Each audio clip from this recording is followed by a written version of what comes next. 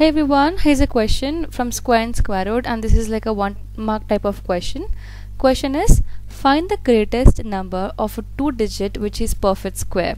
Now we have to find out a greatest two digit number which is perfect square. Now if you don't know what is perfect square, perfect square are the numbers whose square root can be easily found out or a perfect square is a number whose which is a square of a number. For example, 4 is a perfect square because 2 square is equal to 4.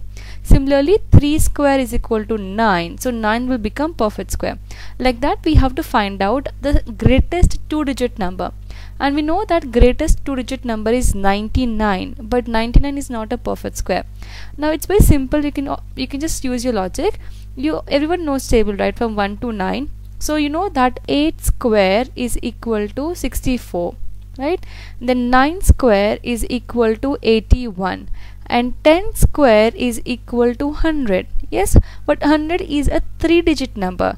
We're looking for the greatest two digit number which is 81 and it's a two digit number it's a great. So between 81 to 100 we don't have any perfect square number.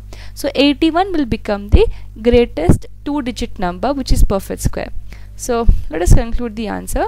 Therefore 81 is the greatest two digit number which is perfect square I hope this question is clear. In case you have any further questions or doubts in this chapter, you can just drop a comment. I'll try to make a video on it. Thank you so much for watching.